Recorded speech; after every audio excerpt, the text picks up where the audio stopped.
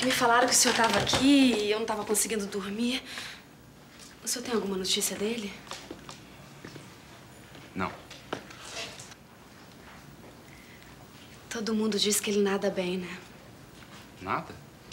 Tem certeza? Bom, eu, eu te confesso que eu tinha medo de água, né? Eu até disfarçava para não passar isso pro menino. Mas aí ficava tenso e quando ia ensinar ele a nadar, a gente sempre acabava brigando. Eu até pensei que, que ele tinha desistido, mas, mas que nada. Foi aprender sozinho com uma prancha só para jogar na minha cara.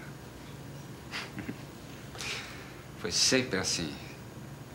Ele só fazia as coisas do modo dele, né? E ainda por cima dizia que eu que era um mandão. É. Ele sempre teve vocação para sargento, né? Aliás, ele me falou de você. Estava muito agoniado para que você acreditasse nele. É que eu queria acreditar, mas era meu pai, né? E é meu filho.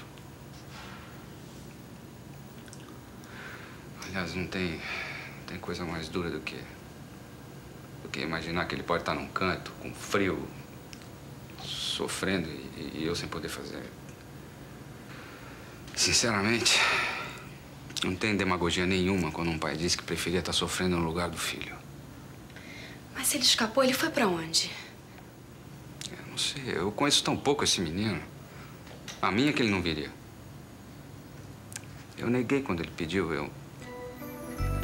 Eu não percebi o tamanho do desespero dele.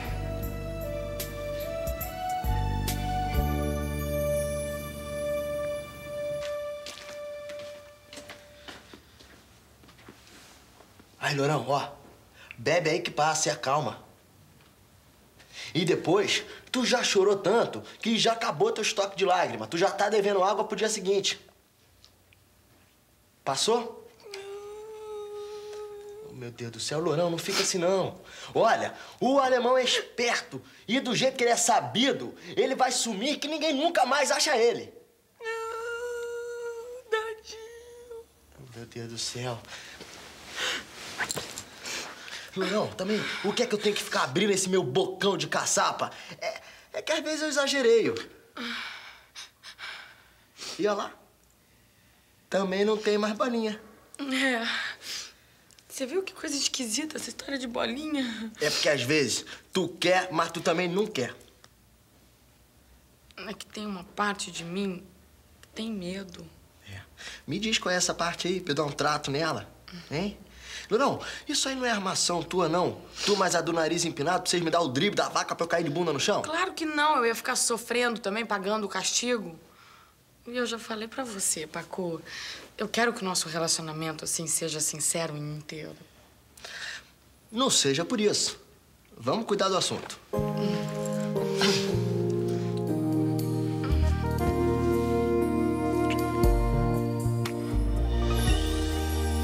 Tadinha de balinha nenhuma. Vamos de novo. E não deu nada!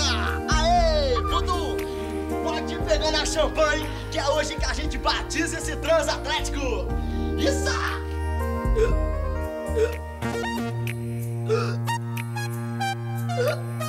Que foi? Engasguetou com alguma coisa? Eu acho que eu... Com certo...